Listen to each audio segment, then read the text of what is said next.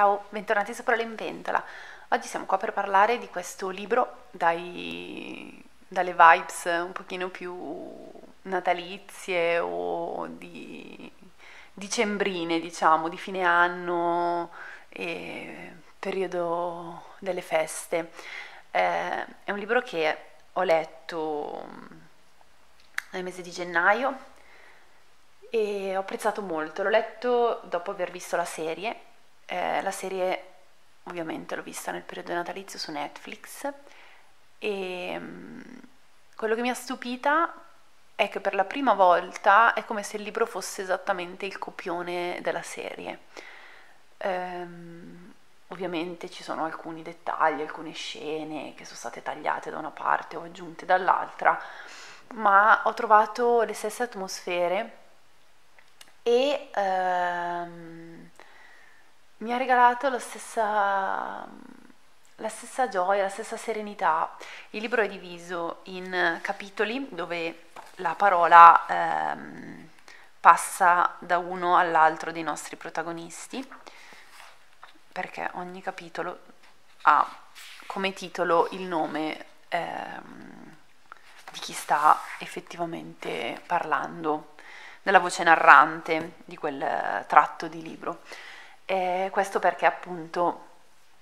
loro comunicano tramite una moleschina rossa eh, che è stata lasciata da Lily eh, nella sua libreria preferita e è stata trovata da Dash che ha dato seguito diciamo, a questo rapporto epistolare eh, tra sfide, racconti personali, ehm, anche mm, momenti comunque di di grande apertura, ecco, eh, loro si passano il taccuino e rischiano in alcuni punti di perdersi, eh, si ritrovano, è tutto estremamente vivo, non c'è mai eh, un momento morto, un momento in cui la tensione cala, eh, nonostante gli alti e bassi delle vite dei protagonisti e del loro rapporto, se così si può chiamare. La serie mi è piaciuta tantissimo perché è veramente eh, natalizia, eh, scintillante, colorata, eh, piena di energia, è proprio bella, bella da vedere. È quella parte del Natale eh, non ovvia, non stucchevole, non è l'ennesimo film banale, sempre la stessa storia, eh, due che si incontrano e si innamorano sotto l'albero Potrebbe, ma non lo è. E, e questo la rende bella, la rende godibile e lo riguarderei, io non sono una che riguarda tante cose perché mi annoio subito e soprattutto mi ricordo la trama, mi ricordo eh, e quindi ci sono poche cose che rivedo, eh, sono un po' le mie coperte di Linus e in questo caso questa serie è una serie che io rivedrei.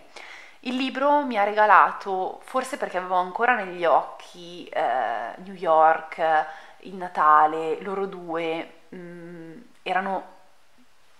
avevo delle immagini ben precise, eh, il libro mi ha regalato forse qualcosa di più anche grazie al fatto eh, di aver visto prima la serie. Mm, diciamo che valgono una per l'altra. Eh, non sono entrambi belli, eh, forse se avessi letto prima il libro la serie mi avrebbe stupita per mm, il modo in cui è stato trasposto il racconto, così eh, diciamo che avendo ancora negli occhi la serie io ho ritrovato alcuni dettagli, però non ho avuto chissà quali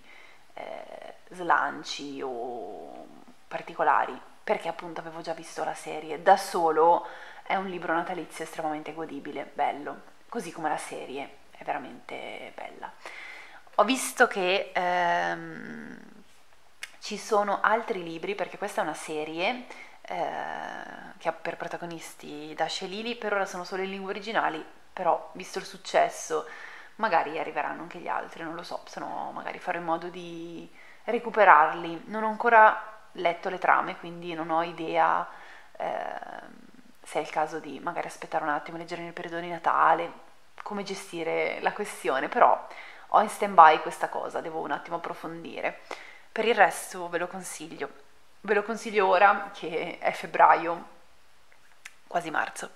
eh, nonostante sia un libro più che natalizio, però appuntatevelo nel caso, tenetelo lì eh, per, per l'anno prossimo